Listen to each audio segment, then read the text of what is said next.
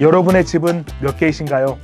1주택 양도세 비과세를 받을 줄 알고 집을 팔았는데 생각지도 못했던 집이 툭 튀어나와서 양도세 중과세를 맞는 경우가 있습니다. 결코 남의 일이 아닌 여러분의 일일 수도 있습니다.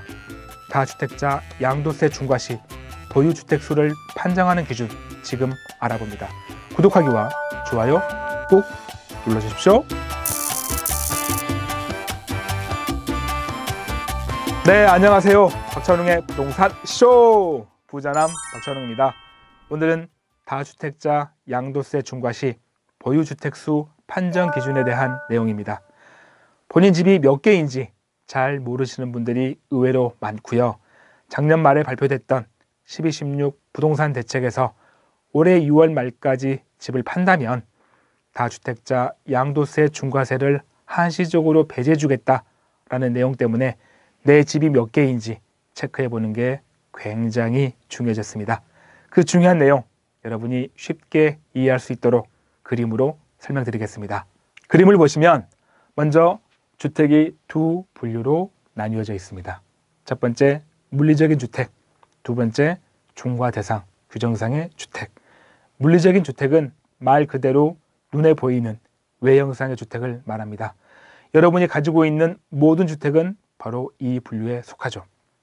두 번째, 중과 대상, 규정상의 주택은 여러분이 가지고 있는 물리적인 주택에서 일정 요건을 충족한 주택을 말하고요.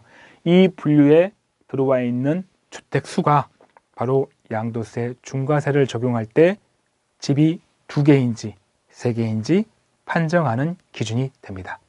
예를 들어 보면 그림에 나와 있는 것처럼 만약에 여러분이 집을 7개를 가지고 있는데 이 중에서 일정 요건을 충족한 집이 두 개다 라고 하면 양도세 중과세를 적용할 때 여러분은 집을 두 개 가지고 있는 겁니다. 쉽게 말하면 실제로는 집을 7개 가지고 있는데 세법상에서는 두 개를 가지고 있다 라고 보시면 됩니다. 그리고 이 두 개의 집 중에서 조정 대상 지역 내에 있는 집을 팔아야 그때 비로소 양도세 중과세가 적용이 되는 거죠. 집이 두 개니까 일반 세율 플러스 10%포인트가 추가돼서 양도세를 납부하게 됩니다.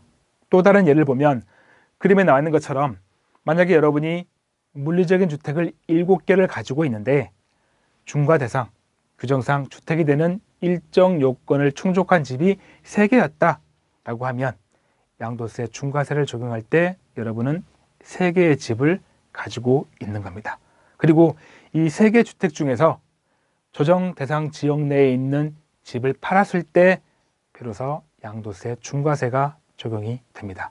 집이 세개니까 일반 세율 플러스 20%포인트가 추가돼서 양도세를 납부하게 되죠. 그렇다면 물리적인 주택에서 중과 대상, 규정상의 주택이 되는 이 일정 요건이 무엇이냐가 중요할 텐데 이 부분은 표로 설명드리겠습니다.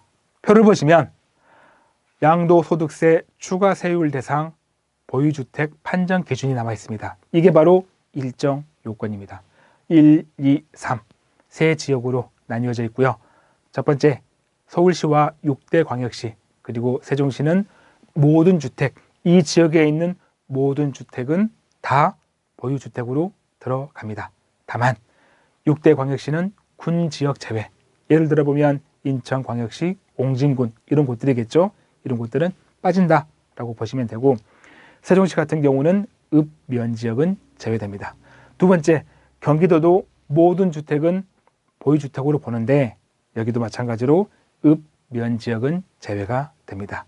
세 번째, 기타 지역입니다. 표에는 좀 말이 어렵게 나와 있는데 쉽게 설명드리면 1번, 2번이 아닌 모든 지역은 다 기타 지역입니다. 그리고 요건을 보면 주택의 기준시가가 3억을 초과하는 주택만 보유주택으로 보고 3억 이하는 보유주택으로 보지 않습니다. 그런데 주택만 있는 게 아니죠. 주택에 준한 권리가 있습니다. 바로 조합원 입주권인데 표를 보시면 양도소득세 추가 세율 대상 보유주택 수의 조합원 입주권을 어떻게 산정할 것인지가 나와 있습니다. 그런데 표를 잘 보시면 먼저 보셨던 주택과 그 산정 기준이 똑같습니다. 다만 3번 기타 지역에서 주택에서는 기준 시가 3억을 초과하는 주택을 보유주택으로 봤는데 조합원 입주권은 기준 시가가 아니라 도정법 그러니까 도시 및 주거환경 정비법상 종전주택 가격이 3억을 초과하는 주택을 보유주택으로 본다라고 보시면 되는데 쉽게 설명드리면 감정평가액 3억을 초과하는 주택을 말합니다. 3억 이하는 보유주택으로 보지 않는다라는 거고요. 또 한 가지 주의하실 게 조합원 입주권은 주택 수에 포함이 된다 하더라도 입주권 자체를 팔 때는 중과세가 적용되지 않습니다. 일반 세율로 적용된다는 것 주의하시고요. 권리가 또 한 가지가 있죠. 바로 분양권. 사실 분양권은 양도세 중과세를 적용할 때 보유주택수에 포함되지 않았습니다. 그런데 작년 말에 발표했던 1216 부동산 대책에서 앞으로는 분양권도 양도세 중과세를 적용할 때 보유주택수에 포함을 시키겠다라고 말을 바꾼 거죠. 언제부터요? 법 개정 후에 2021년 1월 1일 이후에 양도하는 것부터 적용한다고 합니다. 그러니까 지금은 아니더라도 아 내년부터는 분양권도 양도세 중과세 적용할 때 보유주택수에 들어가겠구나 라고 생각하고 계셔야 됩니다. 다만 이제 아직 법이 개정되지 않았기 때문에 어, 자세한 세부 지역이나 기준 금액 그리고 조합원 입주권처럼 분양권도 주택 수에는 포함이 되지만 분양권을 팔 때 양도세 중과세에서 배제가 될지 여부는 법 개정을 지켜봐야 할 것 같습니다. 이번에는 여러분이 주택수를 계산할 때 꼭 아셔야 할 유의사항입니다. 크게 네 가지가 있는데 첫 번째와 두 번째가 중요하고 세 번째, 네 번째는 일반적이지 않다 보니까 그냥 한번 읽어보시면 충분합니다. 먼저 다가구 주택은 하나의 매매 단위로 판다면 1주택으로 간주한다 이고요. 두 번째는 이게 가장 중요합니다. 왜냐하면 여기에서 많이들 실수하세요. 어떤 것이냐? 여러분이 주택을 지분으로 가지고 있을 때 이것도 1주택으로 봅니다. 앞서 말씀드렸던 그 지역 요건들, 기준 금액 요건들 이게 부합된다면 주택으로 봐요. 근데 뭐 6분의 1, 8분의 1 이렇게 가지고 있으면 조금 가지고 있으니까 주택 아니겠지 라고 생각하시는데 큰일 납니다. 지분도 1주택으로 간주한다는 것 꼭 유의하시고요. 다만 공동 상속주택 같은 경우에 주택을 누가 가져갈 것이냐에는 순위가 있습니다. 가장 먼저 가져가는 사람은 지분이 가장 많은 상속인. 그런데 지분이 가장 많은 사람이 두 명 이상이다 라고 할 때는 그 집에 거주한 사람. 그 다음 순위는 나이가 많은 사람. 이렇게 가져가는 거죠. 주택을 가져간다는 건 그 주택을 가져간 사람 앞으로 주택수가 포함이 된다 라고 생각하시면 됩니다. 그리고 세 번째, 뭐 부동산 매매업자가 보유하고 있는 재고 자산의 주택은 주택수에 포함이 되고요. 마지막 네 번째, 주택 신축 판매업자의 재고 자산의 주택은 아 이거는 주택수 계산할 때 포함되지 않구나 라고 이해하시면 됩니다. 이번에는 여러분의 양도소득세에 대한 이해를 좀 더 높여주기 위해서 참고 자료를 준비했습니다. 먼저 현재 조정 대상 지역이 나와 있는 표입니다. 이 표를 보시면 전국의 조정 대상 지역이 어디인지 다 알 수가 있습니다. 글씨가 조금 작을 텐데 항상 제가 제 블로그에 올리니까 제 블로그에 오셔서 필요하시면 다운받아 쓰시면 되겠습니다.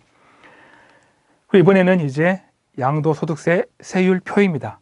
과세 표준별로 세율이 어떻게 퍼센트가 적용되는지 알 수가 있겠고요. 마지막은 여러분이 또 과세 표준이 무엇인지 또 물어보실까봐 이 양도소득세 계산 구조를 쭉 뽑아놓은 그림을 준비했습니다. 이건 마찬가지로 블로그에 있으니까 다운받아 쓰시면 되겠습니다. 오늘 내용 정리해 보겠습니다. 다주택자 양도세 중과 시 주택이 몇 개인지 판정하는 기준과 주택수 계산할 때 꼭 알아야 할 유의사항 알아봤습니다. 혹시 양도세 중과세 한시적 배제를 받기 위해서 올해 6월 말까지 집을 파실 계획이 있다면 이 영상 한 번 더 꼼꼼히 체크해 보시기 바랍니다. 마무리할 시간입니다. 저에게 큰 힘이 되는 구독하기와 좋아요, 알림 설정 꼭 눌러주시고요. 저는 다음 영상에도 최선을 다하겠습니다. 고맙습니다.